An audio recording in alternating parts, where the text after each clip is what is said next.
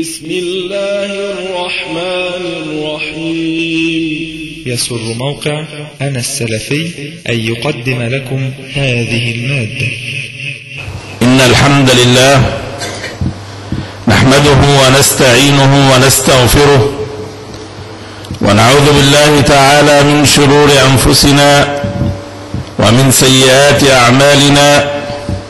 إنه من يهده الله فلا مضل له ومن يضلل فلا هادي له وأشهد أن لا إله إلا الله أشهد أن محمدا عبده ورسوله صلى الله عليه وعلى آله وصحبه وسلم. يا أيها الذين آمنوا اتقوا الله حق تقاته ولا تموتن إلا وأنتم مسلمون. يا أيها الناس اتقوا ربكم الذي خلقكم من نفس واحدة وخلق منها زوجها وبث منهما رجالا كثيرا ونساء واتقوا الله الذي تساءلون به والأرحام إن الله كان عليكم رقيبا يا أيها الذين آمنوا اتقوا الله وقولوا قولا سديدا يصلح لكم أعمالكم ويغفر لكم ذنوبكم ومن يطع الله ورسوله فقد فاز فوزا عظيما ثم أما بعد فإن أصدق الحديث كتاب الله وأحسن الهدي هدي محمد صلى الله عليه وسلم وشر الأمور محدثاتها وكل محدثة بدعة وكل بدعة ضلالة وكل ضلالة في النار. ثم أما بعد فنعيش اليوم مع حلقة من حلقات جهاد صحابة رسول الله صلى الله عليه وسلم.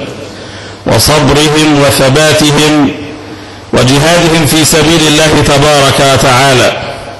وتلك الحلقة من حلقات جهاد ذلك الجيل الأول لم تأخذ حظها من دراسة رغم أن الهرية بمكان ورغم فيها من الدروس والعبر منها تلك الحلقة هي مرحلة الهجرة إلى الحبشة وكانت هذه قبل الهجرة إلى المدينة ولكن لما كانت الهجرة إلى المدينة هي الهجرة التي أقام الله عز وجل بها دولة الإسلام والتي نسبت بعد ذلك يثرب بعدها إلى رسول الله صلى الله عليه وسلم فسميت بمدينته المنورة.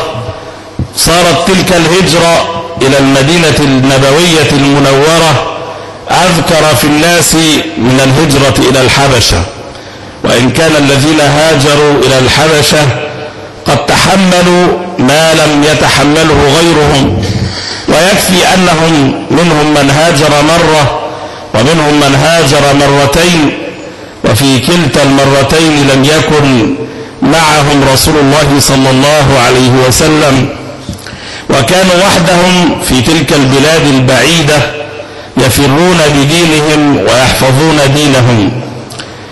أمر رسول الله صلى الله عليه وسلم نفرا من أصحابه أن يهاجروا إلى الحبشة وقال لهم فإن فيها يكون عادل لا يظلم أحد. وهذا مخص الدرس الأعظم من هذا الظلم أنه عن المسلمين أن يثبتوا على دينهم وأن لا يقدموا أي شيء من التازل ولا أي شيء من التراجع. نعم يطلب المسلم العافية ولا يطلب البلاء ويشرع له أن يفر من الأذى وأن يتجنب الأذى ولكنه أبدا لا يداهن في دين الله تبارك وتعالى. ولا يغير شيئا مما أنزله الله سبحانه وتعالى. وليعلم أن الدين دين الله وهو ناصره ولكن الابتلاء يقع لكي يمحص الله عز وجل الناس ثم يحاسبهم على قوم أعمالهم ممن آمن وصبر أو ممن انحرف عن شرع الله تبارك وتعالى أو من صد عن دين الله عز وجل. وهاجر من هجر إلى الحبشة وبقوا فيها زمنا يسيرا. حتى أسلم عمر رضي الله عنه. وكان قبل بيسير بل ربما قبل الهجرة الأولى إلى الحبشة قد أسلم حذا رضي الله عنه.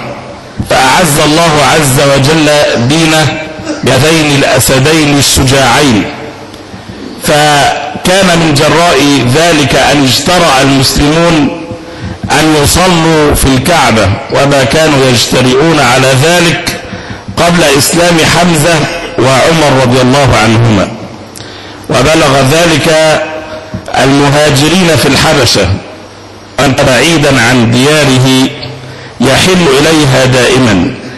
الديار التي ولد فيها والتي فيها أهله وفيها ماله إلى ذلك. فكيف إذا كانت هذه الديار هي أحب إلى الله؟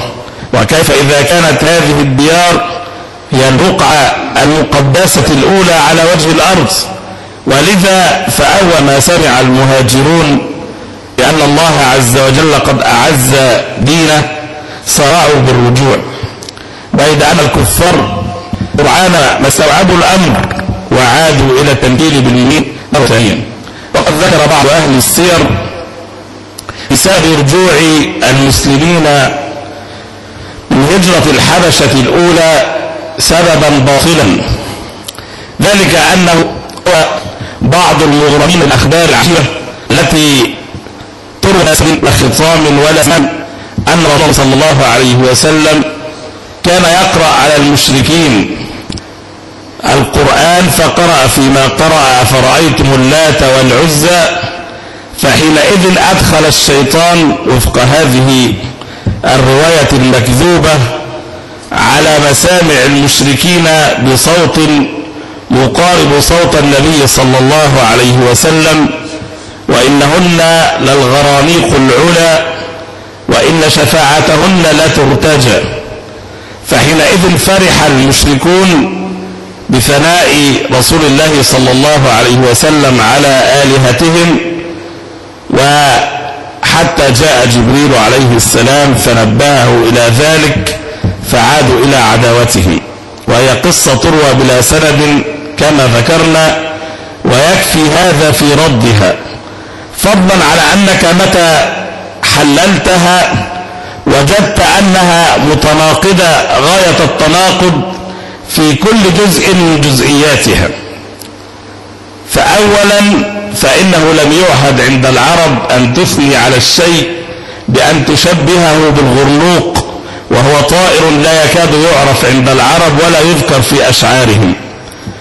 ثم إن سياق الآيات التي ادعي أنه قد دس فيها هذه العبارة كانت في مساق الذم. ولا يعقل أن عقلاء العرب سوف يسمعون كلاما متناقضا يكون يبدأ بالذم وينتهي بالمدح.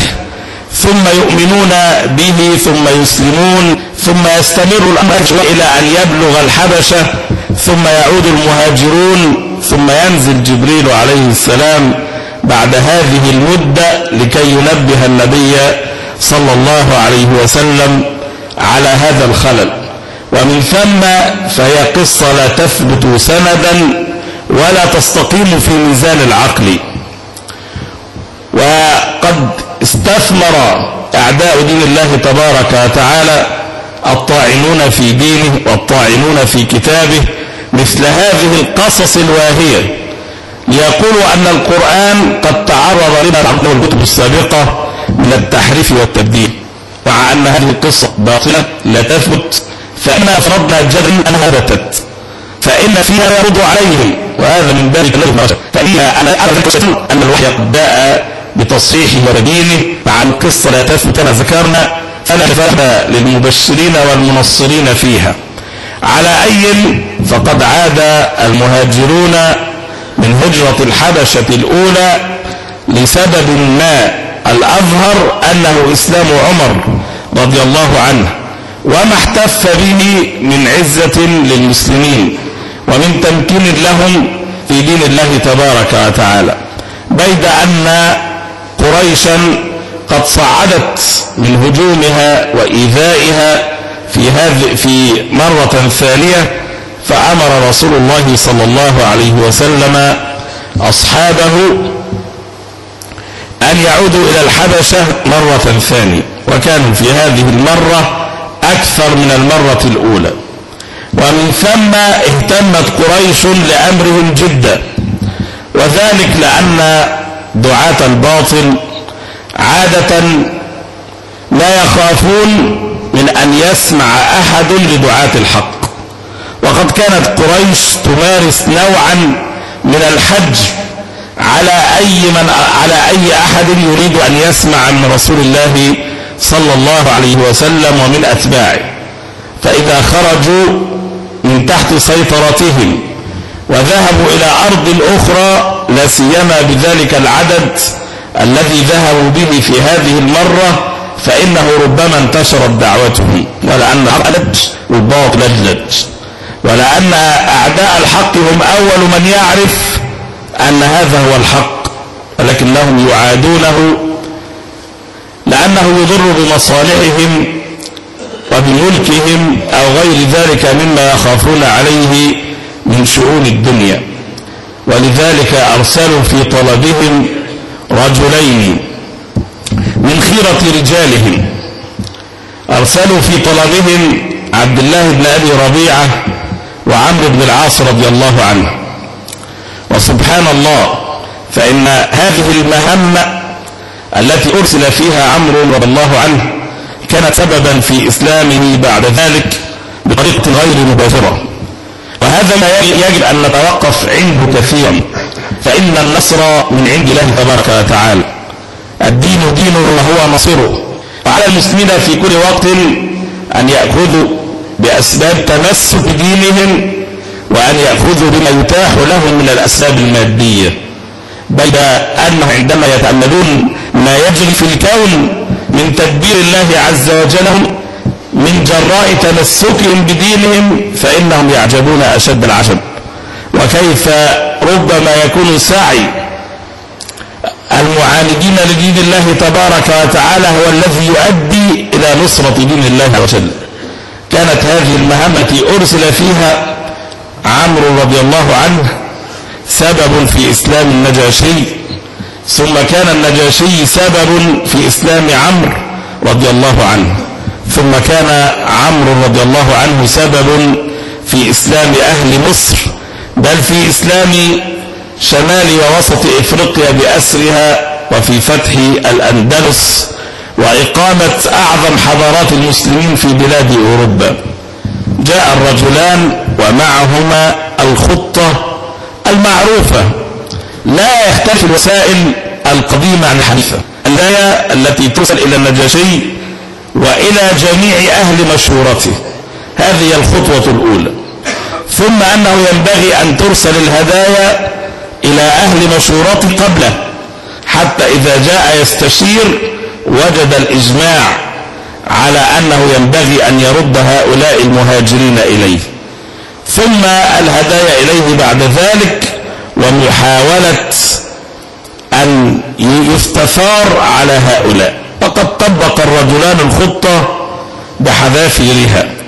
فبدأوا بالبطارقة فأرسلوا إليهم هداياهم. ثم استعدوهم على هؤلاء المهاجرين وقالوا لهم إن من قومنا غلمانا. وعمرو رضي الله عنه أنذاك ليس بالرجل الكبير السن وهو أنذاك شاب في سن بن جعفر بن أبي طالب رضي الله عنه.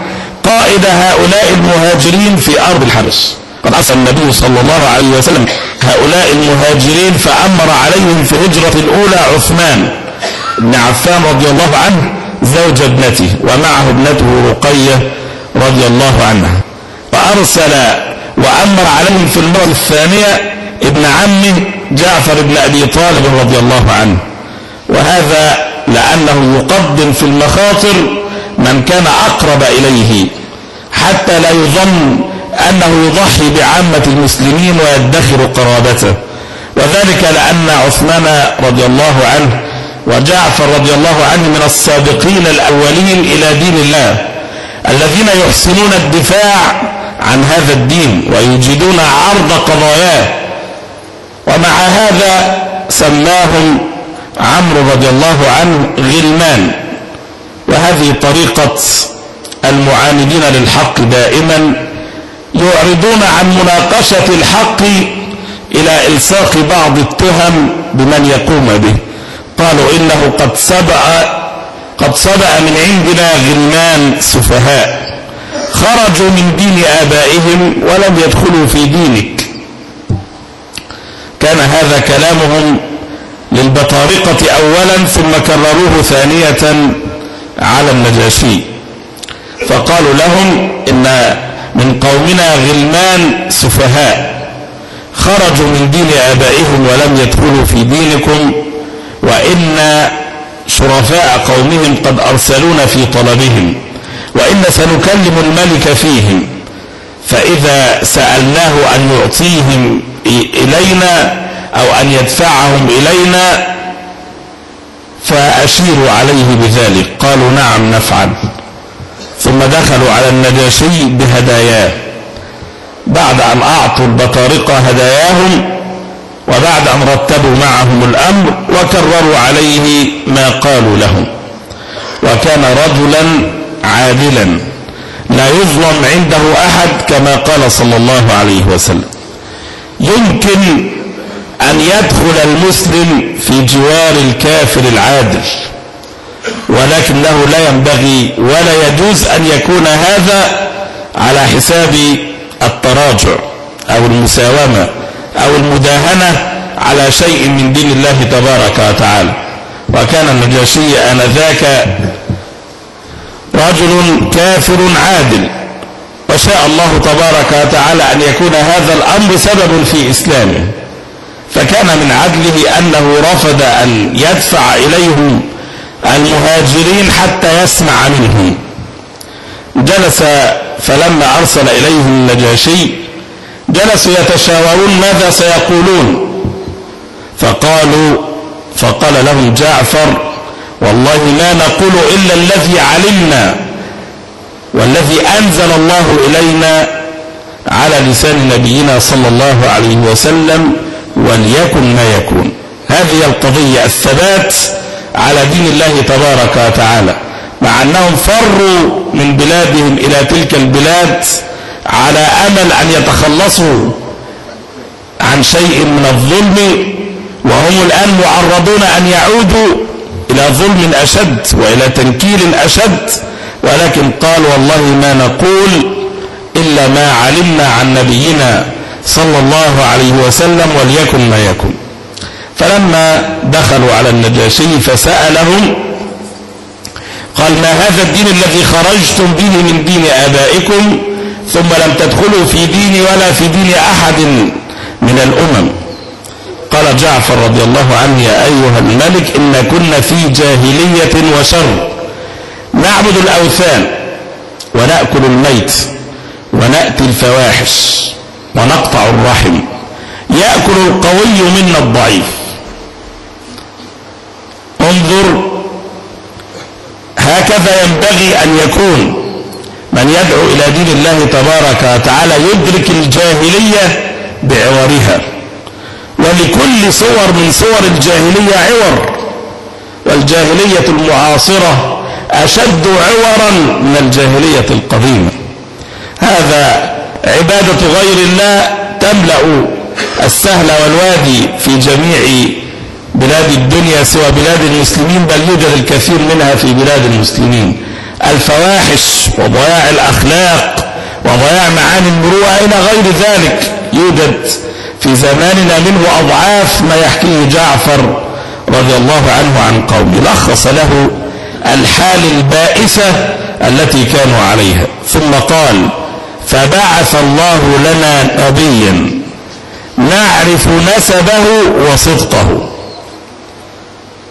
دلائل النبوة. لابد أن نعرفها. قال فبعث الله لنا نبيا نعرف نسبه وصدقه. ونعرف عفافه.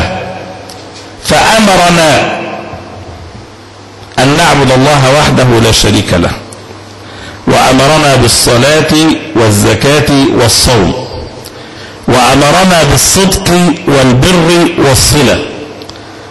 ونهانا عن الكذب وعن قطع الأرحام وعن قذف المحصنات وعن إيتاء الفواحش. تقول أم سلمة رضي الله عنها فعدد أمورا من شرائع الإسلام. يذكر جانب العقيدة. عبادة الله وحده لا شريك له. هذا هو العنوان الأول وهذا هو مفتاح الدخول في دين الإسلام. فإذا عرضنا دعوة الإسلام على أي أحد فينبغي أن يكون هذا هو المحور الذي يدور حوله الكلام. ثم إخلاص العبادة لله تبارك وتعالى. لا سيما أمهات العبادات الصلاة والزكاة. الصلاة صلة بين العبد وبين ربه والزكاة إحسان إلى الخلق. ودين الله عز وجل قائم على هذين الأمرين. إخلاص العبادة للخالق والإحسان إلى المخلوق. ثم عدد شيئا من شرائع الإسلام. وهذا قبل أن تكتمل هذه الشرائع. فإن شرائع الإسلام لم تكتمل إلا بعد الهجرة إلى المدينة. واكتملت تماما في عام حجة الوداع. الذي أنزل الله عز وجل فيه اليوم أكملت لكم دينكم وأتممت عليكم نعمتي ورضيت لكم الإسلام دينا. فهكذا ذكر معالم دعوة الإسلام. هذا الذي ينبغي أن يدركه كل مسلم وأن يدركه كل من يريد أن يدعو إلى الله تبارك وتعالى بصفة خاصة. ثم قال له النجاشي فهل معك مما أنزل الله على نبيكم من شيء؟ قال نعم فقرأ فقال فاتل علي فقرأ عليه من أوائل سورة مريم. فبكى وبكت بطارقته وقال النجاشي والله إن هذا الكلام والكلام الذي أنزل على موسى لا يخرج من مشكاة واحدة. اذهبوا فأنتم أمناء في أرضي. فشل وفد قريش في انتزاع المهاجرين ولكنهم لم ييأسوا بعد. فقال عمرو رضي الله عنه لصاحبه والله لأدخلن عليه غدا فلأذكرن عيبهم لدينه كان ما ذكره أول مرة أنهم خرجوا على دين آبائهم ولم يكن هذا كافيا في التحريض. فإذا طالما أن هذا لم يكفي قال فلأذكرن له عيبهم لدينه ولأبيدن بذلك خضراءهم. وكان هذا ما يريد ولكن الله عز وجل أراد شيئا آخر. أراد لهم السلام وأراد له الهداية. فكان ما أراد الله. مع أن الأمور تسير وفق ما يخطط هو. فدخل عليه وقال يا أيها الملك إنهم يقولون في عيسى قولا عظيما. فطلبهم فتشاوروا وقالوا ماذا نقول؟ فأعاد جعفر رضي الله عنه عليهم والله ما نقول إلا ما علمنا عن نبينا وليكن ما يكون. فسأله عن قولهم في عيسى عليه السلام فقال هو عبد الله ورسوله وروحه وكلمته ألقاها إلى مريم. فأخذ النجاشي عودا من على الأرض وقال والله ما زاد عيسى على ما قلت مثل هذه. فتناخرت البطارقة فقال وإن تناخرتم فكانت تلك العقيدة مستقرة عند النجاشي. ولكنه لم يكن يعلم أحدا يقول بها. فلما دخل عليه عمرو وحرضه على المسلمين بذلك علم أن هذا هو نبي آخر الزمان الذي يأتي يصوب لأهل الكتاب ما حرفوه وما بدلوه. فآمن وكتم إيمانه حتى إذ مات. نزل الوحي على رسول الله صلى الله عليه وسلم وقد مات بعدها بسنوات في عام خيبر بأن النجاشي الرجل المؤمن الصالح قد مات فخرج رسول الله صلى الله عليه وسلم وصلى عليه صلاة الغائب. فلما وقع في قلبه الإيمان أمن المسلمين على في أرضه حتى أرسل رسول الله صلى الله عليه وسلم في طلبهم بعد غزوة الأحزاب فعادوا إليه سالمين بفضل الله تبارك وتعالى. هذه هذا الجزء من تاريخ هذا الجيل يدل على أننا يجب أن نعرف دعوة الإسلام أن نوقن بها وأن نعرف معالمها وأن نحسن عرضها وأن نثبت عليها وألا نساوم على شيء منها ولو كان في ذلك حماية للدعوة وحماية لأبنائها من بطش غيرهم. نسأل الله تبارك وتعالى أن يعز الإسلام والمسلمين. وأقول قولي هذا أستغفر الله لي.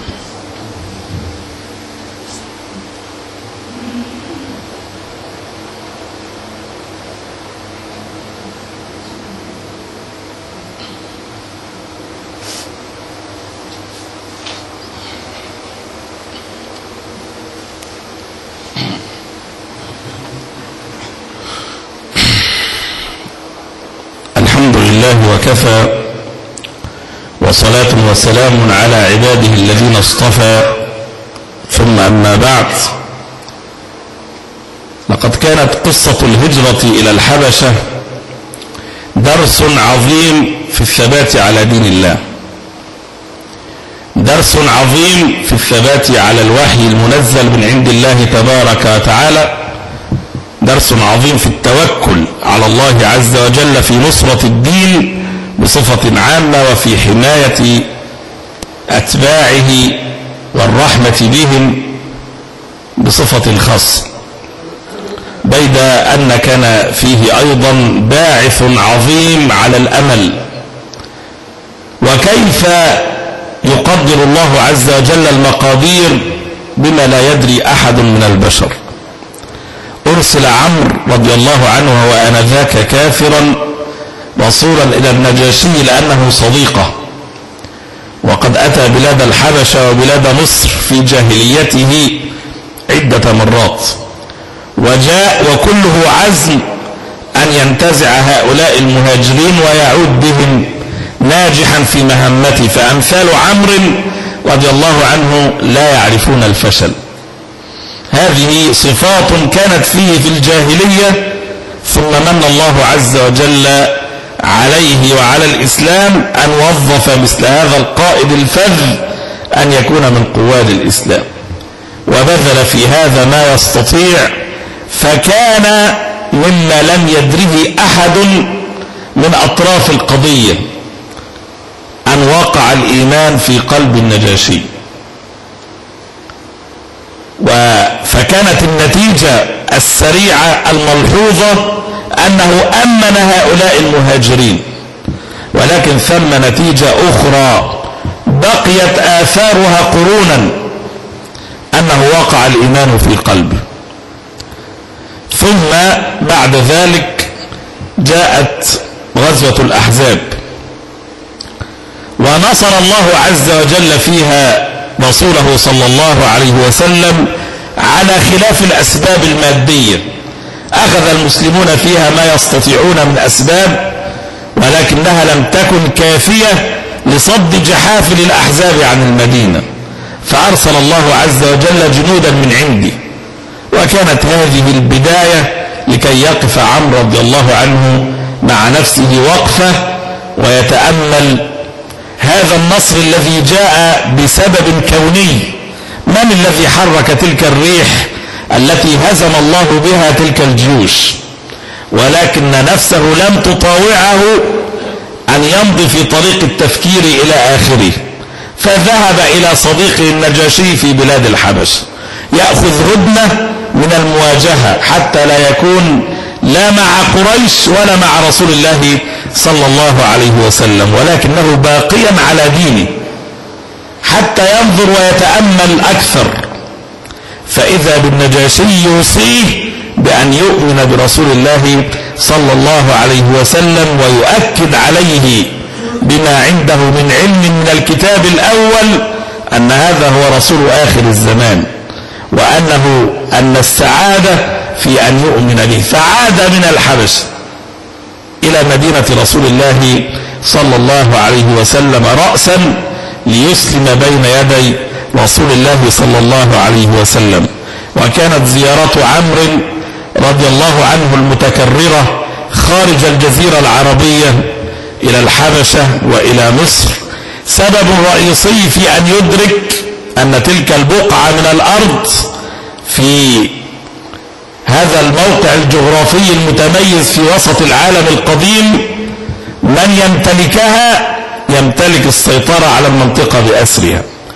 ولذا ظل حلم فتح مصر يراود عمرا رضي الله عنه وصدق الله عز وجل في تلك النية فصدقه الله فكان فتح مصر على يديه نور الله عز وجل مصر بالإسلام وجاء في بضعة آلاف من الجنود. لم يستقر منهم في مصر إلا نفر قليل. ورحل معظمهم ليفتحوا بقية إفريقيا. ولكن أهل مصر دخلوا في دين الله أفواجا فصارت تلك البلاد ومنذ ذلك الحين بفضل الله تبارك وتعالى في موقع القلب من بلاد الإسلام.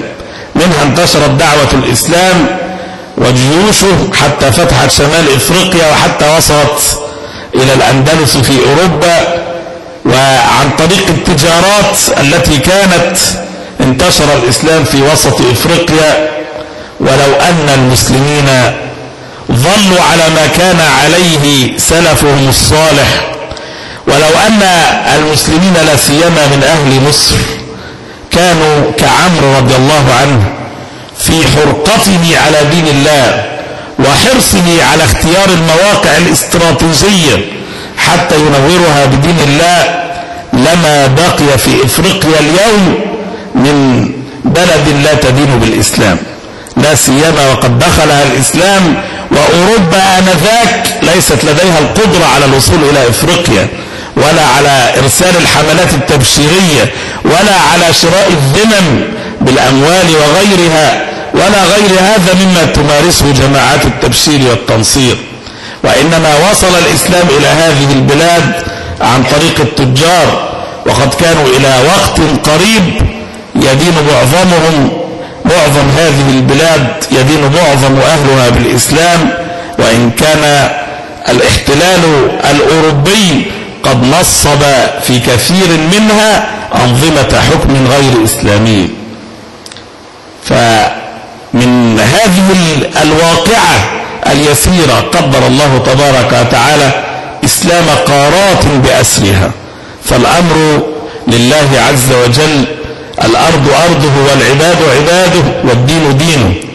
فينبغي أن نتوكل على الله تبارك وتعالى وهذا هو أهم سبب.